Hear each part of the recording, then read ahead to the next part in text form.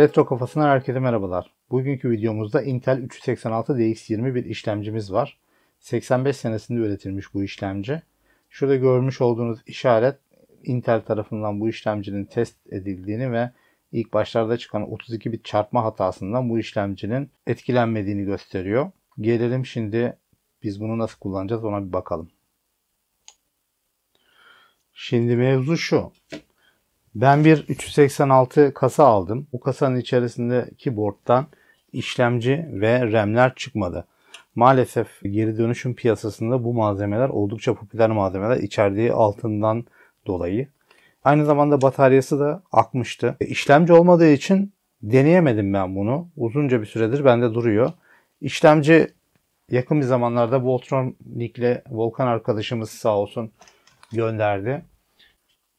Bu board'u deneyeceğim bu işlemciyle. Ama şurada başka bir board'um var. Yine bu da 386 bir board. Ne yaptım ben? Bir test düzeni hazırladım burada. Bunu deneyebilmek için. İlk defa şimdi videoda deneyeceğim. Bu da başka bir sıkıntı var. Açalım bir test düzenimizi. 220 voltla çok uğraşmamak için bir tane kasanın ön panelini söktüm. Bu arada o kasa da şurada görmüş olduğunuz gibi taş gibi bir kasaymış. Gerçekten o zamanların e, üretim kalitesi hayranlık uyandırıcı. Açalım bu daha önce çalışmayan diğer 386 board'umuzu.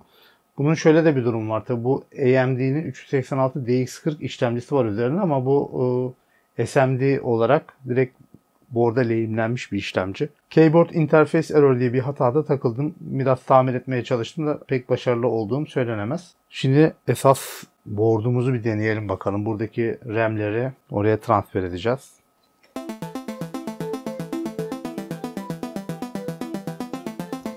Test edeceğimiz diğer board'umuzu takalım bakalım.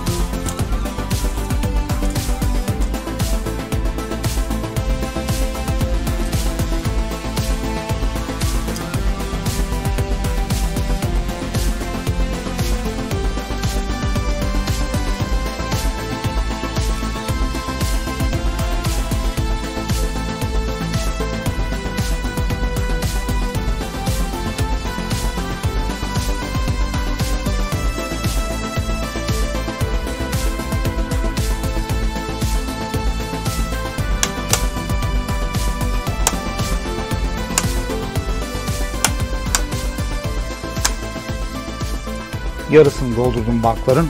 VGA kartımızı takalım.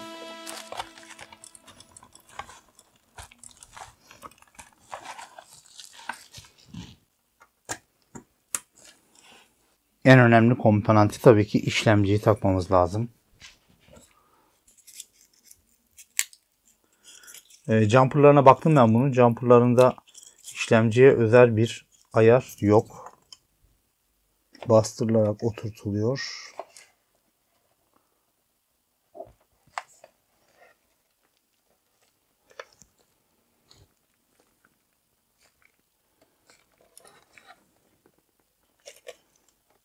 Oturmuş durumda.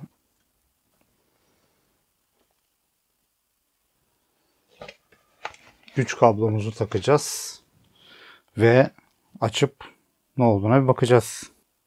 Şimdi ecnebilerin bir lafı var. The moment of truth diyorlar. Yani gerçekle yüzleştiğimiz an ya da parmaklarını çapraz diyorlar filan. Fingers crossed deyip. Biz de bakalım çalışacak mı diyerek power tuşuna basıyoruz bakalım.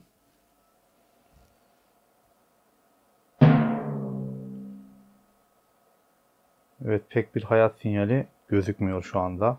Sonuç olumsuz. Hatalı yanlış yaptığımız bir şey var mı diye bakalım. Power'ı taktık. Ekran kartımız tam oturmamış olabilir. Bir daha deneyelim bakalım.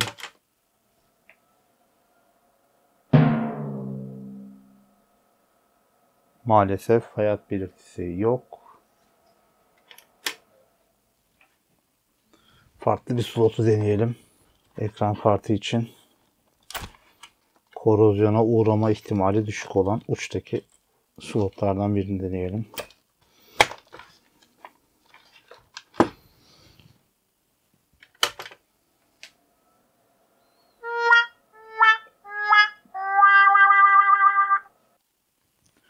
Şimdi bu 386 board üzerindeki bataryayı ben korozyon var diye sökmüştüm. E, bu korozyondan veri yolları etkilenmiş olabilir diye düşünüp bu ekran kartını değişik slotlarda denedim. Ama yine ekrana bir görüntü alamadım. Ayrıca RAM slotlarına ki RAM'leri değiştirdim ama bu çok anlamlı değil. Çünkü biliyorsunuz BIOS ROM'u mevcut bu cihazlarda. ROM'dan çalışıp e, RAM'siz çalışabiliyor ilk çalışmayı ve bize hata sinyali verebiliyorlar. Ve nihayetinde aslına bakarsanız şu klavye konnektörünü söktüm. Belki bir e, kısa devre yapıyor olma ihtimalini düşünerek. Ve açtığımda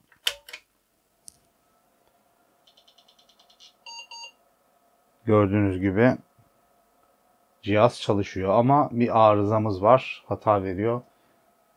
İkinci bir keyboard interface error veren bir makinemiz olmuş oldu. Görmüş olduğunuz gibi burada durum epey kötü. Epey bir korozyona uğramış.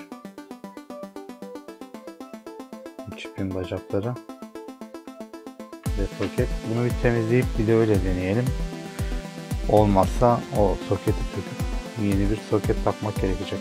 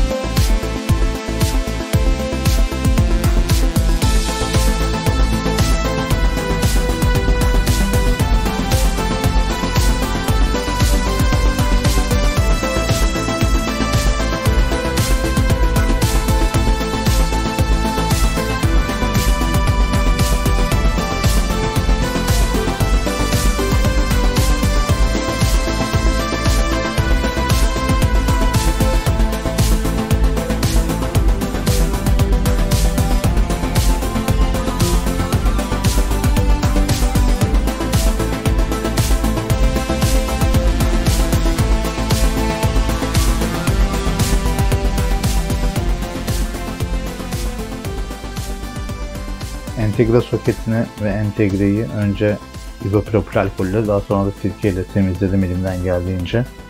Entegreyi de eğledim metal kontaklar ortaya çıksın diye. Bir daha deneyelim bakalım şimdi sonuç ne olacak.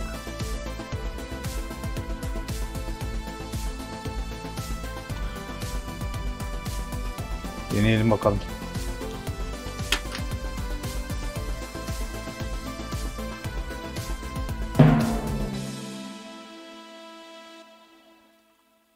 Board düşündüğümden daha kötü durumdaymış. Şuradaki kopuk hattı görüyorsunuz. Benzer şekilde burada da yıpranmış hatlar var. Tam olarak nereye gittikleri de belli değil. Ancak bütün komponentler sökülüp bakıldığında anlaşılabilecek bir durum var burada. Maalesef bu board'un tamiri biraz zor gözüküyor. İşlemci arıyorduk. İşlemciyi bulduk. Şimdi tekrar board'tan olduk. Bakalım ne olacak. İleride göreceğiz. İzlediğiniz için teşekkür ederim. Görüşmek üzere.